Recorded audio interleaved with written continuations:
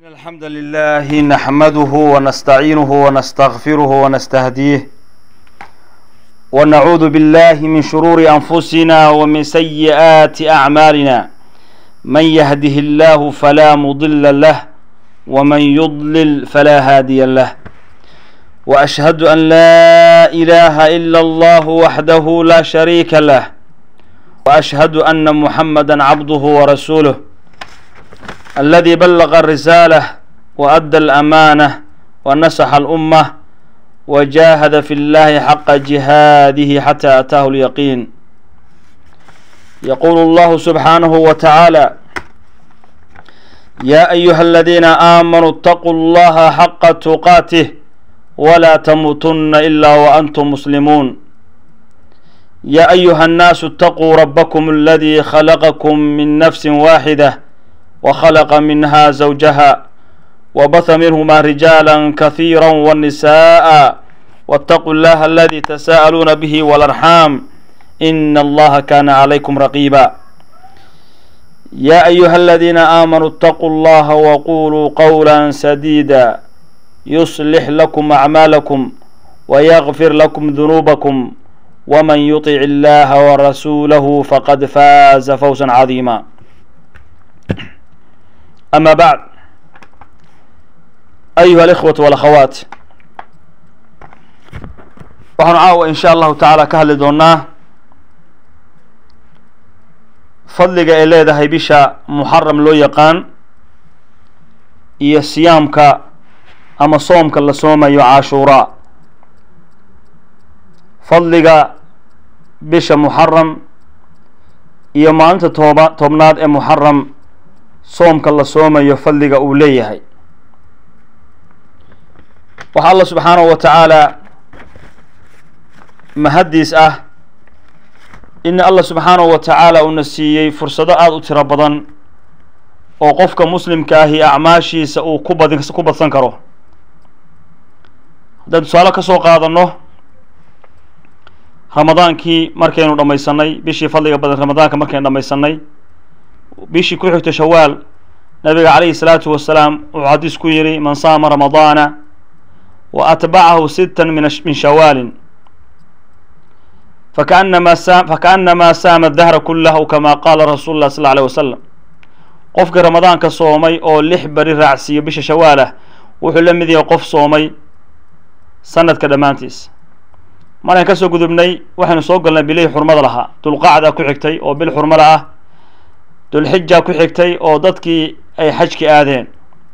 Inteeni xajka aan aadinna waxa alla subxaanahu wa tacaala siiyey fursad ay istaagaan oo fursaddaas oo ah maalintii carafa inay dadku soomaan. Soonkii maalintii carafa la soomay nabiga calayhi salaatu wasalaam wuxuu noo sheegay in lagu dhaafo qofka dembigiisa sanadka la soo dhaafa iyo sanadka soo socda. Bishii dilxija markay dhammaatay waxaa noo bilaabatay bishaan haddaynu ku jirno muxaram loo yaqaan. Iyadana fadligeeda aada u tiro badan ayaanu wax ka tilmaami doonaa maantay khudbadii baynu ku soo qaadanay oanu ka hadalnay qeyb ka mid ah bishaan loo yaqaan muxaram fadliga ay leedahay iyo cashuura ama maalinta tobnaad oo la soomaa fadliga ay leedahay.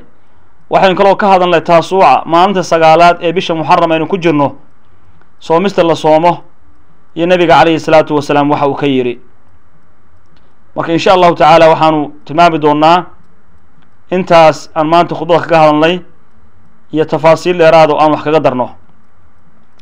Marka u horeysa allah subxaanahu wa qur'aanka wuxuu ku leeyahay ina ciddata shuhuuri cinda allahi ithnaa cashara shahra fi kitaab illah yowma khalaqa asamaawaati walard minha arbacatun xurum dalika addiin اlqayim falaa tadlimuu fiihina anfusakum aayaddaasi allah subxaanahu wa tacaala waxa uu leeyahay bilaha ciddadooda iyo tiradooda sanadka ku jira inay yihiin laba iyo toban bilood.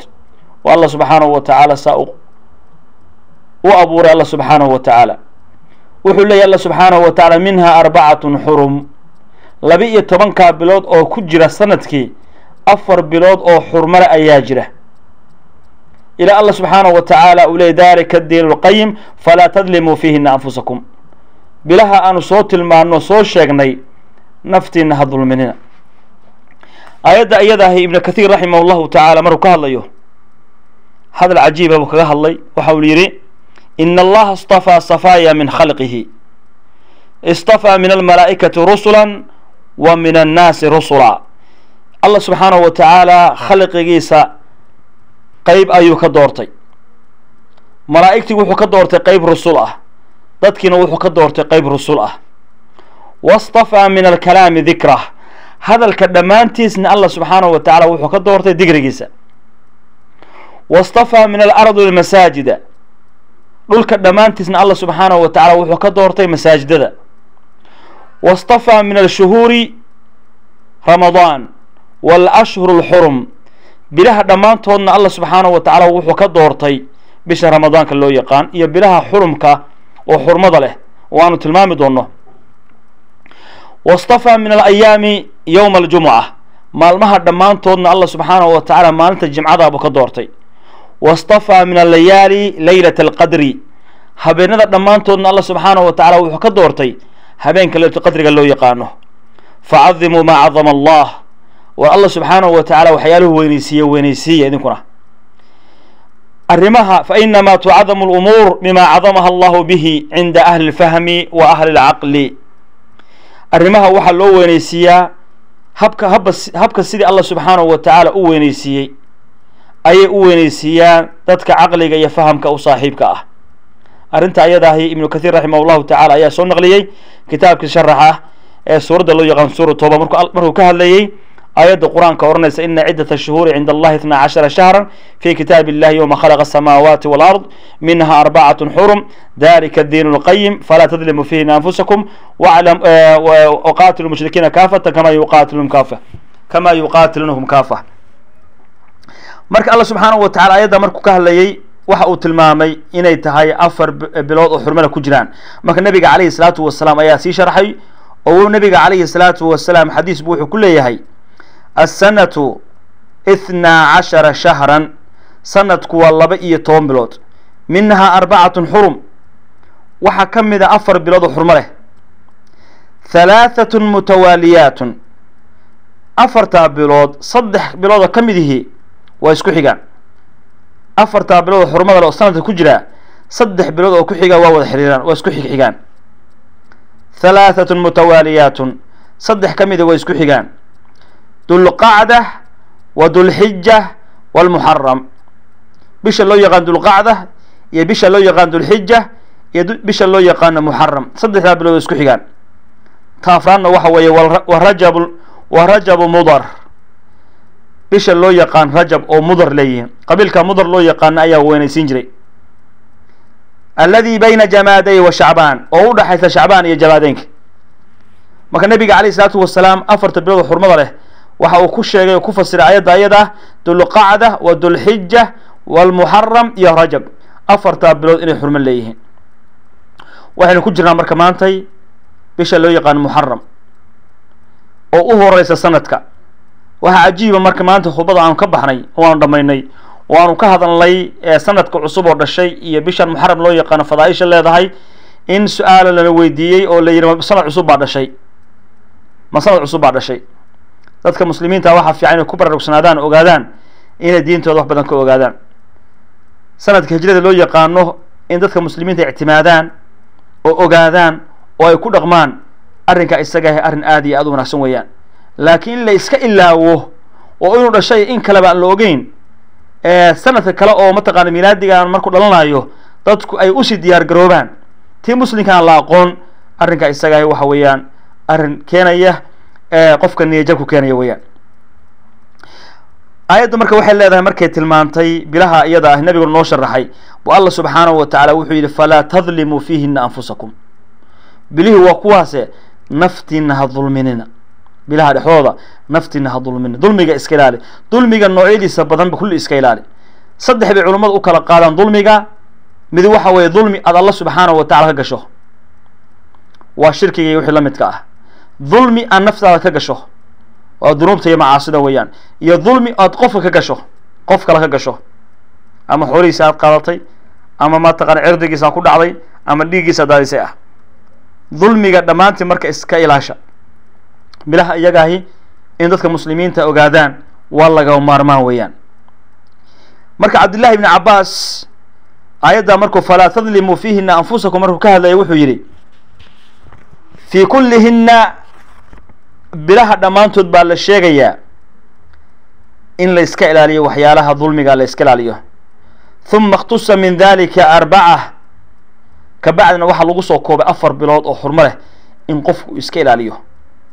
Fajacalahuna xaaraaman wacaduma xurumaati xurumaatihin xurumaatuhina xurumaatahuna afar bilood oo ka mida ayaa lagu soo koobay allah subxaanahu wa tacaala wuxuu ka dhigay inay xurmo leeyihiin waana la weyneysiiyey xurmadooda wa jacala danba fiihina acdam dembiga lala imaanayo afartaa bilood oo xurmada lana aada iyo aad baa loo weyneysay aad ba u weyn yahay asaalix waاlajra acdam camalka wanaagsan iyo ajarka lala imaanayana bilaha xurmada leh oo aanu soo tilmaanay afarta ahi haddii ajar aad la timaado camal fiican la timaado isagana aad ba alla subxaanahu wa tacala u weyneysiinaya dembi haddaad la timaadana dunuubtii bilaha kale aad gashay la mid maaha waa ka wen yahay waana ka dembi wen yahay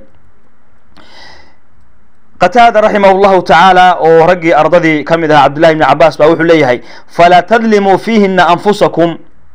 Allah subxaanahu wa tacaala waxa uu leeyahay naftiina ha dulmina aayadda iyada ahi bilahaas dhexdooda naftiina ha ku dulminina ina dulma fi lashhuri اlxurumi acdam acdamu khati'atan wa wisran min adulmi fi ma siwaaha. Wixii dulmiga lala yimaado bilaha bilmaha bilaha xurmada leh oo afartaa bilood ah way ku wen yihiin xagga dembiga iyo gefka iyo dulmiga xaggiisa marka loo eego bilaha kale. Wa in kaana dulmu calaa kuli xaalin cadiima. Dulmiguna yacni si kastaba ha noqotay dulmigu mar kasta wuu weynaa laakiin marka bilaha loo fiiriyo dulmiga bilaha la gelaya aada iyo aad bu u sii wen yahay. Walaakina allaha yucadimu min amrihi ma yashaa soo ma aragta? Lakiin alla subxaanahu wa tacaala wuu weyneysiiya arrinka uu doono waa weyneysiiya bilaha xurmadana dembiga lala yimaadaa wuu ka wen yahay dembiyada maaragta la gelayo bilaha kale la gelayo mar kastana dembigu waan wen yahay lakiin alla subxaanahu wa tacaala wuxuu doona ayuu weyneysiiya marka bisha aynu walaalan ku jirna maantay oo loo yaqaano muxaram bisha muxaram waxaa la doonayaa inaynu ka faa'iidaysano fursado badan baa nabiga calayhi salaatu wasalaam noogu sheegay bisha ayadaan ku jirno maantay oo waxaan u malnaya caawa bisha afar weeyaan. Fursada marka aynu ka faa'idaysano waxaa ka mid a fursadaha la doonaya in kaga faa'idaysano bishan muxaram aynu ku jirno in la badiyo soomka lala imaanayo. Soomka la soomayo bishaan aynu ku jirno muxaram la yidhaahdo in la badiyo laga maarmaan weeye. Wuxuu nabiga calayhi salaatu wasalaam leeyahay xadiis abu hureyre warinayo oo imaamu muslim soo saarayo. Waxa uu leeyahay nabiga calayhi salaatu wasalaam qaala qaala rasuul lah sal alay wasalam afdalu siyaami bacda ramadaana shahru llahi lmuxaram soom la soomo oo fadli badan oo fadli badan iska leh ramadaanka marka laga reebo waxa weeye bishaan loo yaqaano muxaram waxa soonka lala yimaado. Nabiga calayhi salaatu wasalaam wuxuu tilmaamay soonkan u fiican oo la yimaada marka ramadaan laga reebo waxa weeyaan bishaan loo yaqaano muxaram soomka lala yimaado. Waa u fiirsada. Nabiga calayhi salaatu wasalaam wuxuu iska keenay bishii ramadaanka iyo bishii aynu ku jirno maantay oo muxaram loo yaqaano khayrka lala imaanayo markaasuu nabiga calayhi salaatu wasalaam yidhi afdalu siyaami bacda ramadaan soon la soomo kan u fadli badan. Ramadaanka ka gadaal ramadaanka maahay bilaha kale soon la soomo waxa u fadli badan. Shahru llahi almuxaram bisha alla subxaanahu wa ee muxaram loo yaqaano. Bal u fiirsada. Nabiga calayhi salaatu wasalam wuxuu yihi shahru llahi muxaram wamaca dalika allah subxaanahu wa bilaha dhammaantood yani wax walba allah isaga iska leh. Laakiin bishaan waa loo tiiriyey shahru llahi muxaram bisha alla subxaanahu wa tacala muxaram loo yaqaano. Waxaa loo yidhi baa la yidhi oo loo idaafeeyey alla subxaanahu wa tacaala waxa weeye idaafatu tacdiim. Sida waxa weye naaqat llahi wa suqyaha oo kale. Hashi ilaahay. Wamaca dalika alla wax kasta isagaa iska leh. Laakiin ta waxa weeye weynaan la weyneynayo weeyaan. Bishaana weynaanta ay leedahay awgeed ayaa alla subxaanahu wa tacala loo tiiriyey marka in soonka la badiyo weeyaan nabiga calayhi salaatu wasalaam bilaha kale dhammaantood soonka lala yimaado waxaa ka fadli badan bisha muxaram soonka lala yimaado. Marka laga reebo bisha ramadaanka. Marka inay ku dadaalno weeyaan in lagu dadaalo oo la yimaado ayaa mataqaana weeyaan. Mala caliy lqaari waxa uu leeyahay alظaahiru ana almuraada jamiica shahr muxaram sida muuqata waxaa mooda marka shahrullahi muxaram la yidhi in laga wado macnaha bilaha muxaramka bilaha xurmadooda dhammaantood afartii bilood aan soo sheegnay minha arbacatun xurma niri in laga wado bilahaas dhammaantood ayaad ka muuqata buu leeyahay. Si kastaba ha noqotay bishaan aynu ku jirno muxaram la yihahdo in la badiyo soonka la badiyo. Nabiga calayhi salaatu wasalaam waxaan ugu baraarujiye weeyaan. Waxaa kale oo sugan nabiga calayhi salaatu wasalaam kama soo aroorin bil dhammaanteed inuu wada soomay aan ramadaan ahayn. Bil dhammaanteed inuu wada soomay oo aan ramadaan ahayn ramadaanka maahna bil u dhammaanteed wada soomay nabiga lagama hayo. Wa maca dalika tan wuu nagu baraarujiyey muxaram la yihahdo in soomka la badiyo. Marka culimadu waxay leeyihiin fa hada alxadiid cala atargiibi fi likhaari min asiyaami fi shahri muxaram waxaa laga wadaa xadiiska lagu xambaaraya nabiga calayhi salaatu wasalaam inuu nagu baraarujinayo. Inuuna jeclaysiinayo inaynu badino soonka bisha muxaram loo yaqaan. Bisha muxaram loo yaqaano in la badiyo. Waxaa kaloo sugan nabiga calayhi salaatu wasalaam inuu badin jiray inuu badin jiray bisha shacbaan la yidhahdo soonka inuu badin jiray. Oo imaam imaamu nawowi raximah llahu tacala xadiiska haddaan tilmaamaynay afdalu siyaami bacda ramadaan shahrullahi muxaram markuu ka hadlayay uu sharxayay kitaabka saxiix muslimka ah waxa uu leeyahay nabiga calayhi salaatu wasalaam waxa sugan shacbaan inuu badiyay soonkeeda. Waxaa laga yaabaa walacala lam yuuxa ilayhi bifadli lmuxaram ila fi aakhiri alxayaati qabla tamakuni min sawmihi waxaa laga yaabaa buu leeyahy nabiga calayhi salaatu wasalaam inaan loo waxyoonin bisha loo yaqaano muxaram fadligeeda ilaa aakhiri xayaati ilaa geeridiis markay soo dhawaata mooye. Waxaad garanaysaa nabiga calayhi salaatu wasalaam si arki doonno cashuuro markii lagala hadlay wuxuu yihi sanadka soo socda waxaan soomi doonaa bisha muxaram sagaalkeeda. Yacni maca tobankaan la soomi doonaa maalinta sagaalaad. Nabiga marka ma gaarin sannadkii waa arki doonaa insha allahu tacaala. Alla subxaanahu wa tacaala marka wuu doortay bishaan aynu ku jirno muxaram wuxuu doona alla subxaanahu wa tacala wuu doortaa. Ciise bni cabdisalaam raximah llahu tacaala baa kitaabka loo yaqaana qawaacid alaxkaam waxa uu ku leeyahay wa tafdiilu lamaakini walasmaani darbaan fadliga ay kala fadli badan yihiin amaakinta iyo waqtiyadu ay kala fadli badan yihiin oo waqtigan baa waqtiga ka fadli badan meeshaasa meeshaa ka fadli badan. Tusaale ahaan baytullahi baytullahi alxaraam masaajidka wuu ka fadli badan yahay buqac masaajida kale dhammaantood. Marka waqtiga la yidhahdana aakhiru leylka thuluth akhiir leyl wuu ka fadli badan yahay. Thuluthka u dambeeya habeenka wuu ka fadli badan yahay. Habeenka intiisa hore ka fadli badan yahay. Marka wuxuu leeyahay ciise ibn cabdisalaam raximah tacala kitaabka loo yaqan qawaacid alaxkam wuxuu ku leeyahay walasmaani darbaan. Axaduhumaa dunawiy waa laba nooc weeye fadliga ay kala fadli badan yihiin yacni amaakinta iyo waqtiyaduba. Midi waxa weye mid dunawiya weeyaan.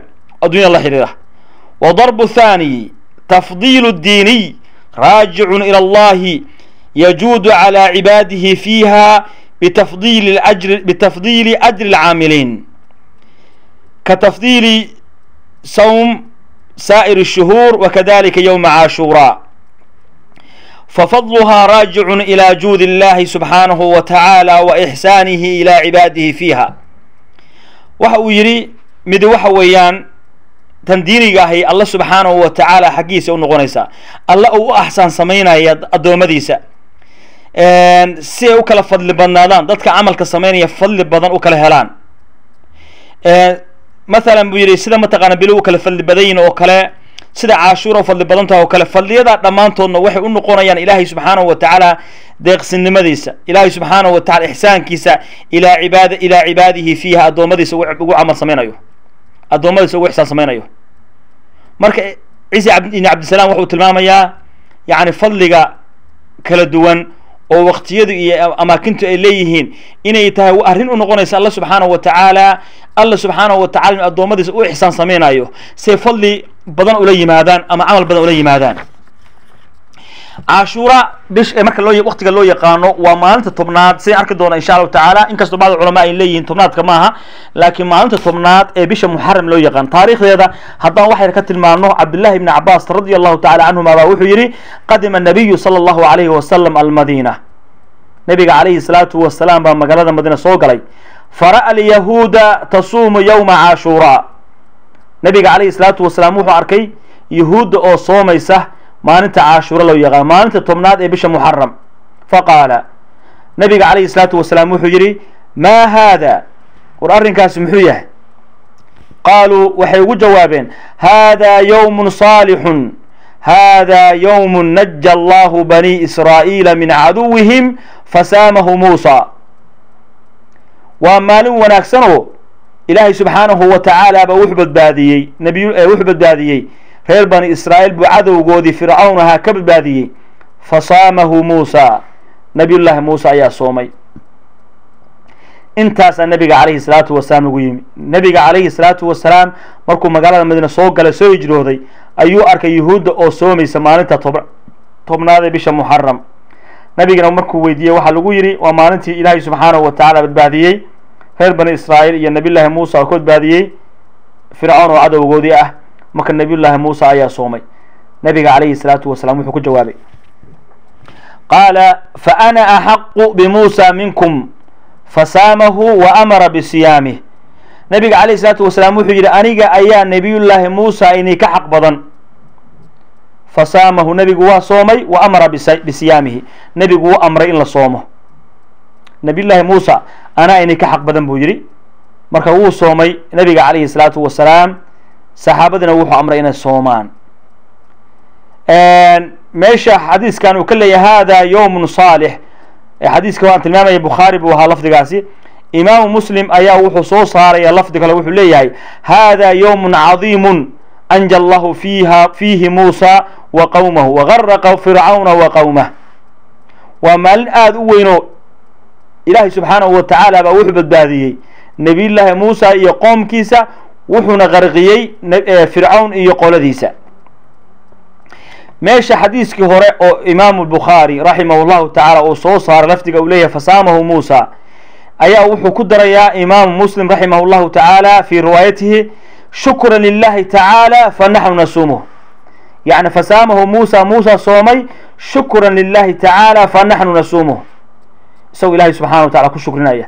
Annaguna waan soomaynaa nabiyullaahi muusa baa soomay isagoo alla subxaanahu wa tacaala ku shukrinaya annaguna waa soomaynaa buu leeyahay riwaayad kaleo bukhaari uu warinaya waxay leedahay wanaxnu nasuumuhu tacdiiman lahu. Annaguna waan soomaynaa weyneyn aan weyneynayno awgeed. Weyneyn aanu weyneynayno awgeed ayaan u soomaynaa. Imaamu axmed raximah llahu tacaala baa kitaabkiisa musnadka ku soo saaraya xadiiskan oo kale wuxuu ku darayaa wa huwa yowm aladi istawad istawat fiihi safiina cala aljuudiy fasaamahu nuuxu shukraa waa maalintii ay doontu istaagtay. Doontii nabiyullaahi nuux. Nabiyullaahi nuux markii ay ku caasiyeen qolyihii loo diray waatuu alla subxana wa tacala leeyahy waxamalnaahu calaa daati alwaaxin wa dusur tajri biacyunina jazaan liman kana kufir. Jazaan liman kana kufir. Qiro kale waxay leedahay jazaan liman kana kafar allah subxana wa tacala wuxuu leey doon baanu ku qaadnay markaanu doon ku qaadnay oo doon alwaax iyo masaamir u saaxiib laba lagu qaaday. Wuxuu u dambeysiyey marka jazaan liman kana kufir. Iyada oo mataqaana lagu abaalmarinayo wanaag qofkii la diidanaa oo ahaa nabiyullahi muuse nabiyullahi nuux. Riwaayadda kale yani qirada kale waxa leeyahay jazaan liman kana kafar. Abaal abaalmarin xun baa lagu sameeyey si loo abaalmariyo qoladii gaalada ahaa oo nabiyullaahi nuux diiday marka doonta maalinta lagu qaaday oo biyihii ay kor tageen ee kabacdi doonta marka istaagtay oo ay biyihii mataqaana yaraadeen ayuu nabi maalintaas maalintaas bay ahayd fasaamahu nuuxun shukraa. Waxaa soomay nabiyullaahi nuux baa soomay shukri awgees buu soomay. Xadiiskaas aan tilmaamaynay sidoo kale bukhaari markuu yihi wa amarahu bisiyaamihi nebigu waa amro in la soomo maalinta iyadahay wuxuu kaloo bukhaari riwaayad kale keenay wuxuu leeyahay faqaala liasxaabihi nabiga calayhi salaatu wasalaam saxaabadiisu wuxuu ku yidhi antum axaqu bimuusa minhum fasuumuu idinka ayaa saxaabadii nebigu la hadlaya idinka ayaa yuhuudda uga xaq badan nabiyullaahi muusa ee sooma. Sidii baa lagu soomay. Nabiga alay slatu wasalaam saxaabadii buu amray waa inta aan bishan ramadaanka la waajib yeelin weeyaan. Bisha ramadaanka la yidhahdo soomkeeda inta aan la waajib yeelin marka sidii mataqaanaa bay ku soomeen saxaabada nebiga alay slatu wasalaam. Nebiga calayh isalaatu wasalaam baa saa ku amray saasayna ku soomeen. Waxaa kaloo la sheegaa nabiga calayhi salaatu wasalaam inta aan la soo saarin nabiga calayhi salaatu wasalaam bicthadiisa ka hor in ay dadkii loo oran jiray qurayshta ama jaahiliyadii ay soomi jireen inay soomi jireen. Oo caaisha radi allahu tacaala canha baa waxay leedahay ina ahla aljaahiliya kanuu yasuumuuna dadka loo yaqaano ahlujahliyada oo nabiga alayh salaam ka hor mushrikiintii qurayshtii way soomi jireen marka qurdubi raximah llahu tacaala baa wuxuu leeyahay lacala qurayshan kanuu yastaniduuna fi sawmihi ilaa fii sawmihi ilaa sharcin man madaa ka ibrahima calayhi salaam. Waxaa laga yaabaa qurayshtu inay soonka ay soomayaan ay mataqaanaa ka tigsanayaan ama ay ka haystaan ummadihii naga horeeyey sharciyadii hore oo tegay sida ibrahim calayhi salaam oo kale. Sababta waxaa jira qurayshtu acmaal ay samayn jirtay oo baqaaya min millati ibrahim ah oo nabiyullahi ibrahim diintiisi wax ay ka haystaan ah oo weliba si inxiraafiyeen. Waxaa ka mid ah xajka ay aadi jireen. Meel kasta ay joogaan marka la gaaro xilligii xajka xajka way aadi jireen way soo dawaafi jireen. Acmaasha xajka aan la nimaan oo kale bay samayn jireen. Inkastay xiraafiyeen oo sanamyo badan dhigeen meeshii. Marka caaisha waxay leedahay way soomi jireen imaamu qurdubi raximah llahu tacala xadiiska wuxuu ku sharxaya uu leeyahay yani waxaa laga yaabaa inay ka haystaan waxyaalihii ay kala hareen oo ka haray u dameeyey cibaadooyinkii ama diinta nabiyullahi ibraahim ahaa sidoo kale waxaa la waxaa sugan nabiga calayhi salaatu wasalaam inuu soomi jiray kana rasul lah sal alayh wasalam yasuumuhu bimaka qabla an yuhaajira ila lmadiina nabiga calayhi salaatu wasalaam wuu soomi jiray intaanu soo hijroonin intaanu madiina soo aadin ayuu soomi jiray isagoo magaalada maka jooga. Falama haajara ila lmadiina markuu magaalada madiina yimi wajada alyahuuda yaxtafiluuna bihi. Nabiga calayhi salaatu wasalaam wuxuu arkay yahuudi oo ixtifaal samaynaysa oo dabaaldegaysa fasa'alahum can sababi wuxuu weydiiyey sababtan maxay tahay? Maxaa dhacay oo mataqaanaa ay u dabaaldegayaan faajaabuuhu kama taqadama fi lxadiidi waxay ku warameen marka u sheegeen xadiiskii ayn ka soo sheegaynu ahayd in nabiy llahi muusa calayhi salaam maalintii la badbaadiyey ay ahayd maalintan iyadahi oo fircawn lacnat ullahi calayhina la qarqiyey marka nabiga calayhi salaatu wasalaam maadaamay ciid ka dhigteen wuxuu amray in mataqaanaa yahuudda la khilaafo oo maadaama iyaga ciid tahay in la soomo. Sida mataqaana abi muusa alashcari raximah llahu tacaala radia allahu tacaala canhu uu leeyahay kana yowma cashuuraa tacuduhu lyahuudu ciida yahuudda ayaa ciid ahaan ka dhigan jirtay cashuura. Maalinta tobnaada bisha muxaram yahuudda ayaa waxay ka dhigan jirtay ciid ka dhigan jirtay. Imaamu muslimna xadiis kale wuxuu ku leeyahay kana yowma cashuura tucadimuhu lyahuudu tatakhiduhu ciida. Yahuudda ayaa weynayn jirtay maalintan loo yaqaana cashuura. Waxayna ka dhigan jirtay ciid bay ka dhigan jirtay. Riwaayad kale uu leeyahay imaamu muslim raximah llahu tacala waxa uu leeyahay kana ahlu lkhaybar yani yahuud. Dadki deganaa khaybar deganaa yahuudda weyehe yatakhiduunahu ciidan ciid bay ka dhigan jireen. Wa yalbisuuna nisaa'ahum fiihim fiihi xuliyahum. Waxayna u gelin jireen haweenkooda. Haweenkooda waxay u gelin jireen waxyaala la isku qurxiya ayay u gelin jireen. Faqaala nabiyu sala allahu alayh wasalam fasuumuhu antum. Idinku soomaya nabiga calayhi salaatu wasalaam yidhi axaadiista aan tilmaanay ee qeybta imaam bukhaari warinayo marka uu sharxayay xaafid ibn xajar casqalaani raximah llahu tacaala kitaabka loo yaqaan fatxu baariga waxa uu leeyahay wadaahiru hada ana albaacitha cala alamri bisawmihi maxabatu mukhaalafati lyahuud xataa sii waday uu yihi ibn xajar raximah llahu tacaala waxyaalaha nabiga calayhi salaatu wasalaam ku kiciyay inuu maaragtay uu soomo waxay ahayd khilaaf inuu jecel yahay inuu khilaafo yuhuudda ilaa uu maaragtay nabiga calayhi salaatu wasalaam amray xilligay afuri jireen oo ciidi jireen yuhuuddu leanna ciidda lama soomo iyaga ciid bay u tahay ma soomaan. Nabiga marka wuxuu amray in mataqaana la soomo. Haddaba fadliga yowma cashuura maxay tahay? Ama fadliga siyaamu cashuura maalinta tobnaad ee bisha muxaram la soomayo fadliga laga helaya muxuu yahay? Inaynu ka faa'idaysano waa laga maarmaan. Waxa uu leeyahy cabdillahi bni cabaas radi allahu tacala canhuma qaala qaala rasuulu llahi qaala wuxuu yidhi maa ra'aytu nabiya sala allahu alayhi wasalam yataxaraa siyaama yowmin fadalahu calaa gayrihi ila hada alyawma yowma caashuura wa hada ashahr yacni shahra ramadaan rawahu lbukhaari waxa uu leeyahy ma arag nabiga calayhi salaatu wasalaam oo weligii ku dadaalaya sown ou maalin fadalay maalin mataqaana sown maalinteeda ku dadaalayo maalintaas oo weliba ka fadilayo maalmaha kale ilaa maalinta caashuura mooye iyo bisha loo yaqaan ramadaan mooye. Bisha ramadaanka iyo maalinta caashuura ayuu aada iyo aad ugu ugu degdegi jiray nabiga calayhi isalaatu wasalaam. Uuna fadili jiray maalinta caashuura soonka uu la imaanayo maalmaha kale uu ka fadili jiray. Dabcan marka laga reebo bisha ramadaanka. Sidoo kale nabiga calayhi salaatu wasalaam wuxuu leeyahay xadiis imaamu muslim soo saarayo siyaamu yowmu caashuuraa soomidda la soomo maalinta caashuura la yidhaahdo waa bisha hadda aynu ku jirno muxaram loo yaqaan maanta afarta ah tobankeeda weeyaan. Tobankeeda. Tobanka bisha muxaram qofkii sooma siyaamu yowmu caashuuraa maalinta caashuura loo yaqaano tobnaanka muxaram ah soonka la soomaya inii axtasibu cala allahi an yukafira asanata alatii qablah.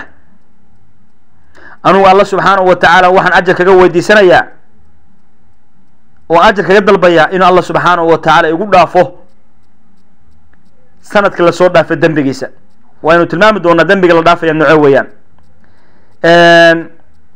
Nabiga calayh isalaatu wasalaam xadiis buu tilmaamayaa uu leeyahay ilaahay subxaanahu wa tacaala wuxuu ku dhaafaa bisha la soo maalinta la soomo muxaram tobankeeda. Soomista la soomayo ilaahay subxaanahu wa tacaala sanadka la soo dhaafay dembigiisa lagu dhaafaya. Fadliga u fiirsada halkaa maalin aad soomto tobnaad. Bisha muxaram aynu ku jirno? Soo kuma jirno? Ha. Macan maanta afar weeyaan. Saan marka hore tilmaamay maantana khudbadan kaga hadlay. Maalinteeda tobnaad la yidhah haddaa maalintaas soobto sanadka la soo dhaafay ba dembigaaga lagu dhaafaya. Dembiga la dhaafaya noociisa waan ka hadli doonaa insha alla tacala markaan u tagno. Ma sakaa'ir dunuuba mise kabaa'ir dunuub weeyaan waan ka hadli doonaa. Inkastoo culummada qeyb ka mid yihi ays yidhahdaan caashuuro ay mataqaana markay ka hadlayaan ay muran geliyaan oo caashuura maalin tobnaad ma aha iyo wax noocaas oo kale ah imaamu nawowi raximah llahu tacaala kitaabka loo yaqaan majmuuca wuxuu kaga hadlaya wuxuu leeyahay caashuura wa taasuuca maruu ka hadlayo hada huwa almashhuuru fi kutub luqa. Waa wax la yaqaano oo caanahoo kutub luqa laga helayo qaala asxaabuna imaamu nawowi markuu yidhahdo qaala asxaabuna yani culamaa shaaficiya weeyaan wuxuu yidhi marka shaaficiyadu waxay yidhaahdeen caashuuraa huwa yowm alcaashir min almuxaram waa maalinta tobnaad ee maalinta bisha muxaram loo yaqaano. Wa taasuuca maalinta sagaalaadna huwa yowmu taasic minhu. Waa maalinta sagaalaad bisha muxaram loo yaqaan. Marka taasuucana iyadana waan ka hadli doonaa insha allahu tacaala. Waa maalinta sagaalaad ee bisha muxaram iyadana nabiga calayhi salaatu wasalaam waa tilmaamay waan ka hadli doonaa insha allahu tacaala. Markaasu wuxuu yidhi wabihi qaala jamhuur lculamaa saas oo kale bay jamhuur culamaa yidhahdeen cashuuro maalinta tobnaad weeye taasuucana maalinta sagaalaad bisha bisha muxaram weeyaan. Waxa uu yidhi marka wa huwa ismu lislaamiy laa yucrafu fi ljaahiliya kitaabka kashaafka loo yaqaano oo kutub xanaabila ah ayaa waxa uu leeyahay lagu saarayaa wa huwa ismu lislaamiy ereyga cashuura oo magaca islaamiya weeyaan. Laa yucrafu fi ljaahiliya lama aqoonin jahiliya lama aqoonin. Xilliga jaahiliyada lama aqoon jirin. Istixbaabka in la soomo marka cashuuro waynu ka hadalnay. Taarikhdeenu way sheegnay. Maalinta cashuuro loo yaqaano fadligeedana waan sheegnay nabiga calayhi salaatu wasalaam wuxuu yidhi waxaa lagu dhaafaa sanadka la soo dhaafay.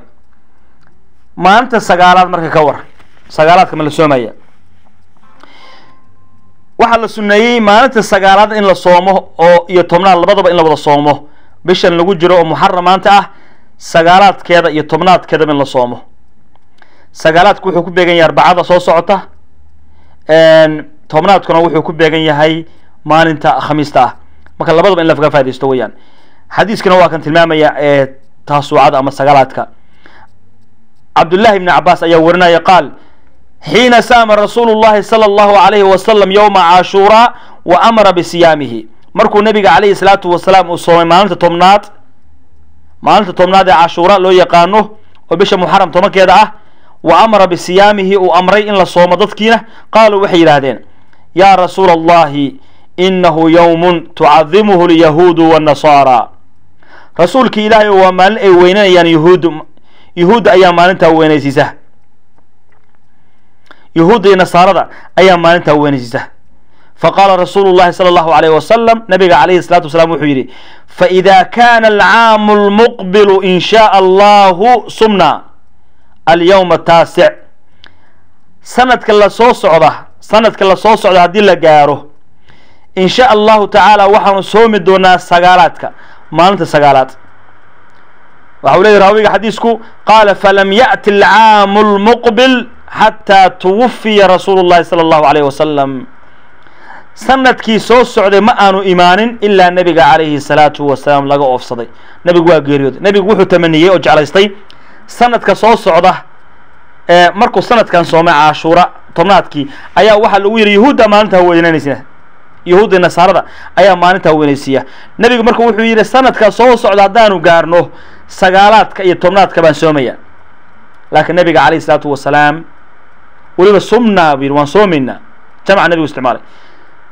Marka nebiga calayhi salaatu wasalaam ma gaarin waa geeriyooday intaan la gaarin sanadka soo xigay qala shaaficiyu waasxaabuhu waaxmed waisxaaq isxaaq ibn rahawey axmed ibn xambal iyo shaafici raggiisu waxay yidhahdeen yustaxabu yowmu taasic waalcaashir jamiica liana anabiya sala allahu calayh wasalam saama alcaashir wa nawaa siyaama taasic nabiga calayhi salaatu wasa waxay leeyihiin imaamu shaafici raggiisa culummada fuqahada shaaficiyada iyo axmed ibn xambal wa isxaaq ibn rahawey waxay leeyihiin yustaxabu sawmu taasic waxaa la jeclaystay oo sunno ah in la soomo maalinta sagaalaad iyo walcaashir jamiican. Sagaalaadka iyo tobnaadkaba in lawada soomo ayaa la jeclaystay yan sunno ah. Lianna annabiya sala allahu alayh wasalam saama alcaashir nebigu waa soomay tobnaadkii buu soomay. Maalinta tobnaad ee bisha muxaram buu soomay. Wa nawaa siyaama taasic wuxuu kaloo nebigu niyeystay inuu soomi doono sanadka soo socda maalinta sagaalaad. Marka in la soomo sunna weeyaan sagaalaadka iyo tobnaadkaba in la soomo. Marka hadda saanu tilmaanay maanta afar weeyaan saan maantana khudbada ku tilmaanay maalinta soo socota arbacada iyo khamiista soo socda insha allahu tacaala qofkii gaaro inuu soomo oo ka faa'iidaysto fadligaas laga maarmaan weeyaan. Marka maraatib baa moodaa inay leedahay caashura oo matalan waxa weeyaan sida ugu hooseysa waxa weeye qofku inuu toban maalinta tobnaad keliya soomo waxaana ka sarreeya ka darajo sarreeya qofku inuu sagaalkii iyo tobanka isla soomo kulamaa kahura asiyaamu fi muxaram kana afdal wa atyab saasay culimadu leeyihiin. Mar kasta uu bato soonka aad imaanaysid bisha muxaram kana afdal wa adyab saasaa wanaagsan oo hagaagsan oo fadli badan.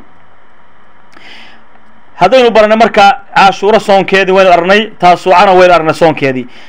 Xikmadda ka dambaysa culimmadu ka hadleen loo soomaayo maxaa loo soomayaa? Maalinta sagaalaad imaamu nawowi raximah llahu tacaala baa kitaabka sharxu muhadabka ah waxa uu ku tilmaamayaa ou leeyahay raximah llahu tacaala wuxuu leeyahay imaamu nawowi dakara alculamaau min asxaabina wagayrihim fi xikmati istixbaabi yowmi taasuuca awjiha. Culummadanada wuxuu sheegaya fuqahada mataqaana shaaficiyada waxay tilmaameen oo ka hadleen buu yidhi xikmadda ka dambaysa maxay tahay oo loo suneeyey in maalinta sagaalaad la soomo marka waxa u horreeya buu ley axaduha ana almuraada minhu mukhaalafatu lyahuudi fi iqtisaarihim cala alcaashir. Mid u horeysa waxa weeyaan wejiyo badan baa laga hadlay buu le wejiga u horreeya waxa weeyaan in muraadku yahay in la khilaafo yahuudda gaabsashada ay ku gaabsanayaan maalinta tobnaad keliya oo la khilaafo oo sagaal lagu daro. Waxaa kaloo ka mid ah buu leeyahay u tilmaamaya ixtiyaad fi sawmi caashir. Khashyata naqs alhilaal. In maaragtay ay ixtiyaad tahay qofku waxaa laga yaabaa bishu inay nuqsaan ku jirto maalan nuqsaan ku jirto maalan oo hadduu tobankii soomo oo kale maalin tobnaad soomo laga yaaba inay sagaal ku beegan tahay laga yaaba inay koo iyo toban ku beegan tahay. Marka in labadaba la wada soomo sagaalaad tobnaad la soomo arrinkaana xikmad ka dambaysu leeyahy laakiinse waxaa moodaa in u raajaxsan tahay sida culamadu ka hadlayaan mukhaalafat اlyahuud fi ikhtisaarihim cala alcaashir arrinka isagana waxaa ka hadlay shaykhu lislaam raximah llahu tacala ibnu taymiya kitaabkiisa fataawaha buu ka hadlay wuxuu leeyahay nahaa sala allahu alayhi wasalam nabiga calayhi salaatu wasalaam wuu diiday can atashabuhi biahli اlkitaabi fi axaadiida kahiira mithl qowlihi fi cashuura nabiga calayhi salaatu wasalaam wuu diiday in laysu akisiiyo ahlkitaabka axaadiis badan buuna ku tilmaamay nebiga calayhi salaatu wasalaam sheegaysa in layska ilaaliyo in laysu ekeysiiyo yahuudda iyo nasaarada waxaa ka mid a xadiiskii caashuura oo nebiga calayhi salaatu wasalaam uu yidhi lain cishtu ilaa qaabil la asuumana taasic haddii aan noolaado ilaa sanadka soo socda waan soomayaa maalinta sagaalaad xadiiskaasa kutusaya buu leeyahay in maaragtay la khilaafo oo arrintan lagu khilaafa yahuudda marka haddaynu soomayna waxa la rabaa inaan soonno sagaalaadka iyo tobnaadka maalinta sagaalaad iyo maalinta tobnaad ee bishaaynu ku jirno muxaram ah labadaba inaad soonto weeyaan. Fadligaas khayrka badan saan u helno inaan labadaba soonno weeyaan. Ibn xajar raximah llahu tacaala xadiiska haddaan tilmaamayo oo lain baqiitu xadiiska riwayad waxay leedahay lain cishtu ilaa qaabilin la asumana taasic riwaayad kale waxay leedahay lain baqiitu ilaa qaabilin la asuban la asumana taasic haddaan noolaado aan joogo إيه، سند كسو صعدة وان سومية مان سقالد مارك ابن حجر إيه، حديث كسو تعليقين إيه أيوه اللي هي ما هم به من صوم التاسع يحتمر معناه ألا يغتسر عليه بل يضيفه إلى يوم العاشر إما احتياطا له وإما مخالفة لليهود والنصارى وهو الأرجح وبه يشعر بعض روايات مسلم. بحول ابن حجر؟ Nabiga calayh isalaatu wasalaam miduu ku hamiyey inuu sagaalaadka soomo. Waxaa lagu xambaarayaa macnaheed inuu yahay qofku inuusan ku gaabsan inuu tobnaadka keliya soomaho.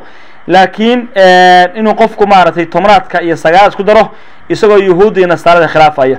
Arrinkaasaan raajaxsan buu leeyahay waxaana kutusaya riwaayaadka uu soo aroorinaya imaam muslim qeyb ka mid ayaa kutusaysa xukunku muxuu yahay haddii qofku caashuuro keliya uu soomo caashuuro keliya inaad soonto keligeed maalinta tobnaad keliya inaad soonto aadan sagaalaad ku daran arrintaa ka waran. Shaykhulislaam raximah llahu tacaala ee ibnu taymiya ayaa arrinka isagaahi ka hadlay fataawa markuu kaga hadlayey sidoo kale tuxfat lmuxtaajka alhaythami ayaa kaga hadlay waxa uu leeyahay sheikh islam ibnu taymiya siyaamu yowmi caashuuraa kafaaratu sanatin. Xadiiskii nabiga ayuu soo qaatay soonka la soomo maalinta tobnaad ee muxaram kafaaro ayay u noqonaysaa sannadkii la soo dhaafay dembigiisii.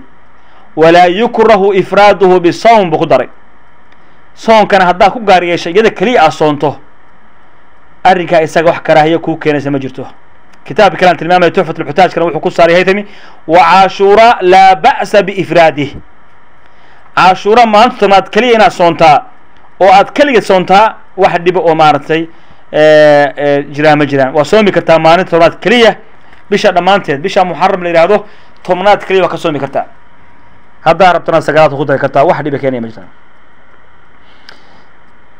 Haddii ay maalin sabtiga ku beegmato iyo hadday maalin maaragtay jimca ku beegmato keligeed iyo kulli culimmadu aad bay uga hadleen laakiin waxaan ku soo gaabsanaynaa waxa weeyaan qofku inuu sagaalaadka iyo tobnaadka mar walba labadaba soomo haddaba maxaa lagu dhaafayaa? waxyaalaha lagu dhaafayaa maxay yihiin soomul cashuura haddaan soomo maalinta tobnaadka bisha muxaram noo yaqaano maxaa lagu dhaafayaa? Imaamu nawowi raximah llahu tacaala majmuuca sharxu muhadabka wuxuu leeyahay qaala imaamu nawowi raximah llahu tacaala yukafiru kula dunuubi asakaa'iri marka nebiga calayhi salaatu wasalaam uu leeyahay dembiyada sannadkii la soo dhaafay oo dhan baa loo dhaafayaa qofkii sooma maalinta tobnaad ee bishan muxaram waxaa laga wadaa yukafiru kula dunuubi asakaa'ir dembiyaasha yaryar oo dhan baa loo dhaafayaa. Waxa uu yidhi yakfiru dunuubahu kulaha ila alkabaa'ir. Allah subxaanahu wa tacala qofka sooma u dhaafaa dembiga dhammaantood ilaa kabaa'irka mooyaane. Kabacdi wuxuu kusi daray wuxuu yidhi sawmu yowmi carafa.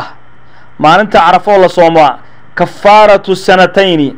Kafaaratu sanatayni laba sanadoo la soo dhaaf laba sanadood ayaa qofka loogu dhaafaa. Sanadkii hore ka soo socda. Wa yowmi caashuuraa maalinta tobnaadoo la soomo muxaram weeyaane tobankeede kafaaratu sana. Hal sana ayaa qofka loogu dhaafaa sanadka la soo dhaafa weeyaan. Wa idaa waafaqa ta'miinuhu ta'miina almalaa'ika gufira lahu ma taqadama min dembihi qofka imaamka ku xiranaya oo markii imaamku waladaalina dhaho aamiin qofka maamuunka odhanaya iyo malaa'igta aamiinteedu hadday iswaafaqaan qufira lahu maa taqadama min dambihi. Qofka dembigiisii hore loo dhaafaa dhaafitaankaas soo aroortay buu ka hadlaya kulli. Xadiiska caashuura ka hadlaya kii carafa ka hadlaya iyo kan la leeyahay alla u dhaafaya dembiga hore maxaa laga wadaa? Kula waaxidin min haaulaa'i almadkuuraat saalixun litakfiir. Arrimahaanu soo sheegnay yowma carafa yowma caashuura iyo aamiinta marka la leeyahay kulli waxay keensanayaan qofkeena dembiga u dhaafaan dunuubta in loo dhaafo. Marka uu isagoo hadalka sii wata imaamu nawowi wuxuu yidhi fain wajada maa yukafiruhu min asakaa'iri kafarahu haddii qofka laga helo dunuub sakaa'ir ah dunuub sakaa'ir haddii qofka laga helo waa loogu dambi dhaafaya. Waa loogu dambi dhaafaya. Wain lam yusaadif sagiiratan walaa kabiiratan kutiba kutiba bihi xasanaat haddii qofka aanu sakaa'irna lahayn dunuub sagiirana ma leh. Dunuub kabaa'irna ma leh. Wuu soomay maalintii cashuuruu soomay. Maxaa lagu samaynaya mathalan qof baa maanta islaamay oo kale. Qofka markuu maanta islaamay oo islaamkiisu wanaagsanaaday wax dembiya male biri wax dembiya ma leh. Cashuuraha soo gashay wuu soomay. Dembi ma lahayn kabaa'irna ma lahayn sakaa'irna ma lahayn. Maxaa la samaynaya wuxuu leeyahay qofka haddii uusan dunuub dunuub kabaa'iran lahayn sakaa'irna uusan lahayn laakiin uu soomay cashuura. Allah subxaanahu wa tacala xasanaad buu qoraya ajar baa loo qoraya wa ruficat lahu bihi darajaat darajaadna kor baa loogu qaadaya wa in saadafa kabiiratan aw kabaa'ira walam yusaadif sakaa'ira rajawnaa an tukhafifa min alkabaa'iri haddii qofku dembiye badan uu ku dhacay oo dembiye badan uu leeyahay laakiin sakaa'ir aanu lahayn waxaan alla ka rajaynaynaa qofka isagahay ina alla uga khafiifiyo soonka uu soomay dembiyaasha kabaa'irka ah. Walaalayaal dembi kabaa'irna waxaa la yidhahdaa dembi kasta oo ay ku soo aroortay wax cuquubo ah ay ku soo aroortay. Ama ciqaab ku soo aroortay ama cadaab ku soo arooray ama lacnad ku soo aroortay ama xad oo min xuduud ah xuduudda caadiga oo adduunka ku soo arooreen sida sariqada oo kale gacan la gooyo waa dembi kabaa'ir weeyaan xad adduunkaaba ku soo arooray zinadii marka oo kale maarata xad adduunkan ku soo arooray cadaab baa ku soo arooray waa dembi dembi kabaa'ir weeyaan. Lacnad waxay ku soo aroortay oo kale lacnad ha ku dhacdo. Gabdhaha mataqaan dadka maaragtay jirkooda wax ku qorqoroo kale nebigu xadiis buu ku leeyahay. Lacnad ha ku dhacdo gabdhaha madaxooda burkada saara timaha kale ku xirxira. Lacana allahu man lacana waalidayhi. Ilaahay ha naclado qofkii labadiisa waa naclada lacana allahu man gayara manaara alardi. Lacnad ha ku dhacdo qofkii dhulka wadooyinkiisa maaragtay dhulka calaamadihiisa qayira oo bedela lacana allahu man dabaxa ligayr illahi qofkii ilahay darti ilahay keyrkii wax u gowraca ee ilahay naclada ku dhacdo dunuubta noocaas o dhan waxa la kabair baa lahahda kabaa'irku waa dembi ay ku soo aroortay cuquubo adduunka ha noqoto ama aakhira ha noqoto. Xad qofka laga gooni adduunka ha noqoto ama aakhira ciqaab ha noqoto qofkaas waxaa la yihahda dembiga noocaas dembi kabair baa la yihahdaa waxaa lagu dhaafaya keliya qofka isagahay inuu la yimaado toobadkeen ama siyaamu yowmu cashuura iyo carafa iyo wixii la midka ah waxaa lagu dhaafaya waxa way dunuubta sakaa'irka weeyaan. Laakiin imaam nawowi wuxuu leeyahay haddii qofka laga waayo sakaa'ir laga waayo oo kabaa'ir keliya laga helo qofkii oo uu soomo maalintaas iyada ay soomo ajarkeeda waxay u noqonaysaa alla uga rajaynayna allah subxaanahu wa tacaala inuu ka khafiifiyo dunuubta waaweyn uu galayo. Shaykhu lislaam raximah llahu tacaala waxa uu leyay ibnu taymiya weeye wuxuu leey watakfiiru dahaara wاsalaati wasiyaami ramadaan wacarafa wacashuura lisagaa'iri faqad. Dunuubta lagu dhaafayo dahaarada. Dahaarada waxaa laga wadaa nebigu xadiis bu wuxuu ku leyahy matalan qofka w soo weyse qaata oo gurigiisa ka soo baxa tallaabo kasta uu soo qaado dembi baa laga turaa ajarna waa loo qoraa ilaa masaajis u ka yimaado. Dahaaradaas marka oo soo dahaaro qaato qofku dembi dhaafka lagu sheegay iyo salaadaha dembi dhaafka lagu sheegay salaadana waxa weeyaan nebiga xadiis wuxuu ku leeyahay aljumucatu ila aljumuc oo kale. Qofka jimcahan tukadaa jimcihiisa kale aramadaan fa ramadaan ila ramadaan wa jumcat ila jumca yukafiraani xadiiska uu tilmaamaya uu leeyahay waxaa lagu dhaafaa qofka dunuubtiisa ida ijtunibat ilkabaa'ir haddii qofku ka fogaado dembida waaweyn. Marka wuxuu leeyahy ibnu kathiir takfiir ka imaanaya. Dembi dhaafka ka imaanaya dahaarada salaada siyaamu ramadaan carafa la soomaya cashuura la soomayo lisagaa'iri faqad waa dunuubta yararka keliya weeyaan. Amaa dembiga weyn towbadkeen alla subxaanahu wa tacaala baa laga rabaa. Inaad la timaado weeyaan inaad alla subxaanahu wa tacaala u toobad keento alla u noqoto weeyaan.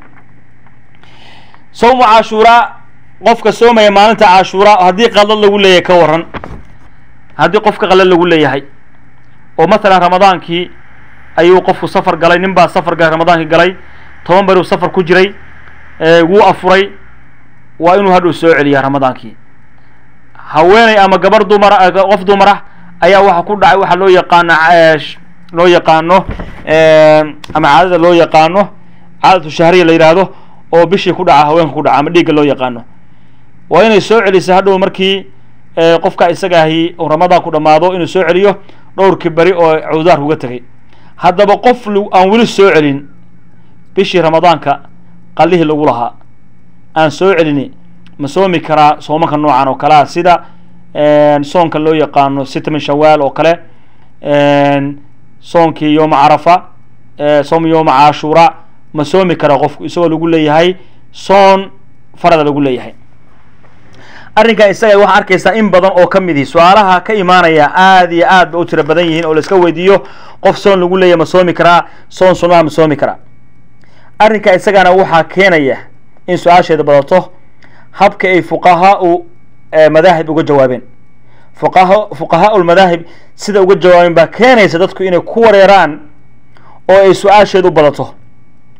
Qof soon ramadaan lagu leeyahay oo qalo lagu leeyahay ma soomi karaa sunnihii haddaad tirahdo mataqaanaa saasa sheikh yiri waxay le hebel baa saas yiri. Waxaa keenaysa waxa weeyaan arrinkan soo socda ikhtalafa alfuqahaau fi xukmi tadawuc bisawm qabla qada'i ramadaan culummadu way isku khilaafeen qof lagu leeyahay ramadaan lagu leeyahay isagoo aan qalaynin qabla qada'i ramadaan inuu tadawuc la yimaado fadahaba alxanafiya madhabkan loo xanafiya loo yaqaano abu xaniifa raximah llahu tacaala madhabkiisa oo dadka u badani maarata isticmaala madhabkaasi ay yihiin dadka hindiya iyo bakistan iyo dhulkaa degan madhabkaasi waxay ku tageen ilaa jawaasi tadawuc bisawmi qabla qada'i ramadaan min gayri karaaha. Likowni alqada laa yajibu cala alfawr. Abu xaniifa waxay ku tageen madhabkiisa abu xaniifa wuxuu leeyahay ama madhabka xanafiyada waxay ku tageen inay bannaan tahay qofku inuu sunnayaal la yimaado isagoo aan ramadaankii weli qalayn. Isagoo ramadaan lagu leeyahay oo aan weli qalayn inuu sunnayaal soomi soomi karo arrinkaa isagana u bannaan tahay oo ayan karaahiye ahayn. Maxaa yeelay buu leeyahay qofka haddii soon lagu leeyahay soon haddii lagu leeyahay qofka waajib kumaha isla markii inuu dadejiyay soonkii qallaha kiila yimaado dib buu dhigan karaa. Saasay leeyahay abu xaniifa iyo dadkiisu.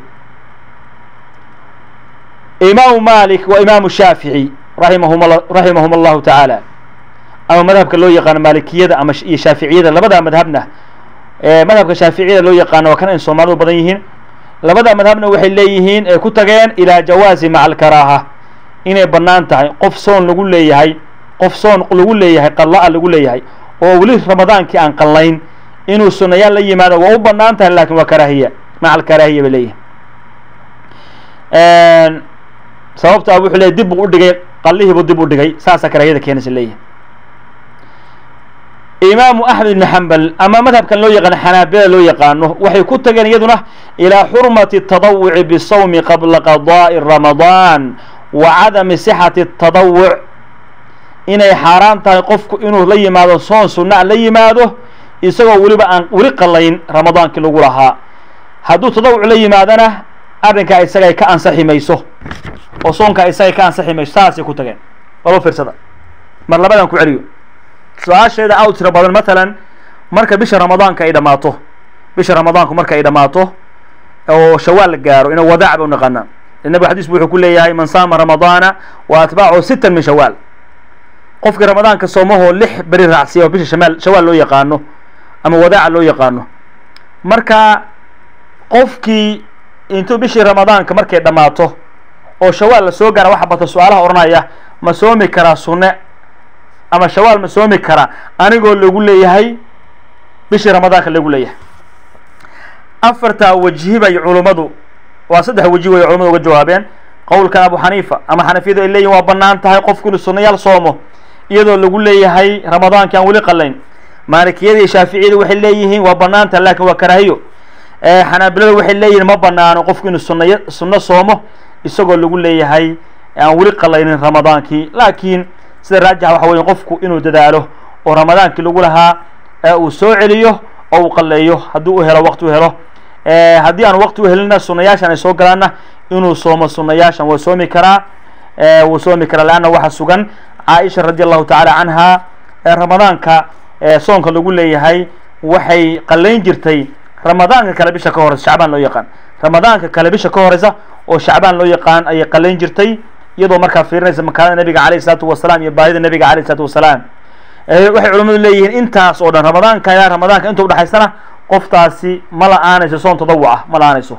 Marka qofku waa soomi karaa laakiin waxa fiican mar walba inuu ku dadaalo bishii ramadaanka inuu soo cesho wixii lagu lahaa inuu soo celiyo. Intaas baan ku soo gabagabeynaya insha allahu tacaala. Waxaan naftayda tiina ku baraarujinayaa inaynu ka faa'idaysano fursadaha qaaliga ah oo allah subxaanahu watacaala siiyey ee nabiga calayhi salaatu wasalaam noo bana noo bayaaniyey in lagu dadaalo oo qofku ogaado oo mataqaanaa lagu dhaqmo weeyaan. Wa maca dalika bilaha xurmada lana in la iska ilaaliyo dulmiga dulmiga in la iska ilaaliyo. Dadka muslimiinta ahi meel kasta ay joogaan dadka muslimiinta meel kasta ay joogaan waxaan u dadaarmaya oo leeyahay bilaha xurmada lana ku jirnaa in la iska ilaaliyo in la iska ilaaliyo oo mataqaanaa dulmiga la iska ilaaliyo ayaa laga maarmaan ah dadkii la ohan jiray mushrikiintii quraysh ayaa waxay samayn jireen. Bilaha xurmada la yidhahdo dulmi badan bay samayn jireen. Marka bishii meeshay ka qaadi jireen oo meel kala geyn jireen. Sida hadda aayaddii aan tilmaamayay ina ciddata shuhuuri cinda allahi itnaa cashara shahran fi kitaab illah yowma khalaqa asamaawaati walard aayaddaasi aayadda ka dambaysa allah subxana wataala wuxuu leeyahay inama annasii'u ziyaadatun fi lkufri yudalu bihi aladiina kafaruu yuxiluunahu caaman wa yuxarimuunahu caama liyuwaati'uu ciddata maa xarama allah fayuxilu ma xarama allah zuyina lahum suuءu acmaalihim wallahu laa yahdi lqowma alkaafiriin dib bay u dhigi jireen oo waxay odhan jireen masalan markay rabaan duulaan inay qaadaan bisha muxaram la yidhaahdo bilaha muxaramka micnaha bilaha xurmada leh ama ha noqoto muxaram ha noqoto ama rajab ha noqoto ama dulqacda ha noqoto ama dulxija ha noqote waxay samayn jireen in dib u qaadi jireen oo si ay duulaan u qaadaan marka in la iska ilaaliyo dulmiga khaasatan yani caam ahaan bil walba ha noqotee dulmiga in la iska ilaaliyo gaar ahaanna in bilaha xurmada leh dulmiga la iska ilaaliyo ummaddeeni ilaahay subxaanahu watacala uu imtixaamay ilaa labaatan sano baa dulmigu socda. Uu qofku aanu goranayn bal waxa lagu dulmiyey. Kan dulminayana ma garanayo qofkan waxa uu ku dulminayo nabiga alayh isalaatu wasalam xadis buu ku tilmaamay wuxuu leeyahay waxaa imaan doona qofka xilli imaan doonta qofka haddii la dilo masalan uu aanu garanayn wax lagu dilay kan wax dilayana ma garanayo wuxuu qofkan ku dilay. Xilligaasaa imaan doona nabiga alayh salatu slam leeyahay. Marka bal dulmiga hala iska ilaaliyo dulmiga iska ilaaliyo bilahan xurmadalana waxa way laga faa'iidaysto oo hala yimaado nabiga calayhi salaatu wasalaam fadliga uu ku sheegay yayna dhaafin bishaan ku jirnaa oo muxaram yidhaahdo inaynu soomka badino. Waa maqlaysan xadiiskii nabiga calayhi salaatu wasalam hadda mar laba in xusuusiyo nabigu leeyahay soon la yimaado oo ka fadli badan bisha muxaram ma jirto. Marka laga reebo bisha ramadaanka bal nabiga calayhi salaatu wasalam watuu xadiis lahaa soonka aan soomaya bishaan maalinta loo yaqaano cashuura tobnaad in lagu dhaafayo sanadka la soo dhaafay dunuubtiisii in lagu dhaafayo marka fursaddaas laga faaidaysto waxaan isku dayeynaa maalinta khamiista la yihahdo ku beegantahay cashuura inaan masaajidka insha allahu tacala afur ku samayno dadku si maaragtay uga soo qayb galaan u yimaadaan oo afurka kabacdina maaragtay aan muxaadaraad iyo wax insha allahu tacaala aanu soo jeedina insha allah tacaala انت أصلا كسر قبل قبينا يا والله سبحانه وتعالى أعلى واعلم جزاكم الله خير. وسلام الله عليكم ورحمة وبركاته.